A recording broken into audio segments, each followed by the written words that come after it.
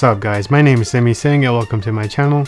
If you haven't done so already, make sure you subscribe and hit the bell notification so I can continue bringing you these videos. So today I have Funko Pop number 580 John Wick. And this Funko Pop even includes his dog. For those of you that have already seen John Wick, you know what John Wick's dog means to him. And whatever you do, you're not supposed to kill his dog. So it was very clever of Funko Pop to include his dog with this package. Now removing John Wick out of the package, the first thing I noticed right off the bat is the gun. I mean this gun looks so so realistic. They, they did a really really good job with the gun.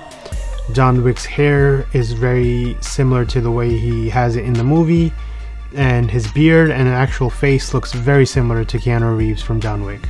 I really like the details they put into his hair, the texture, you know, the way John Wick has his hair grown out long. That was really nice and John Wick's suit looks pretty decent as well.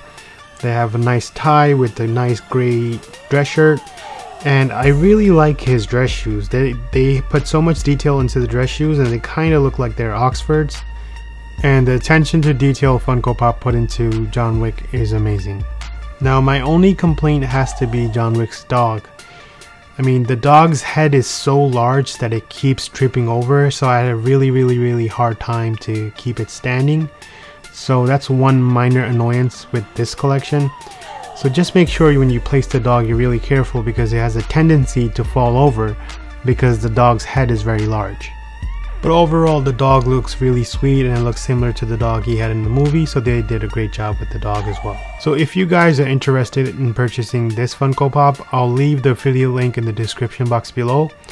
Thanks for watching guys, I hope it helps you out.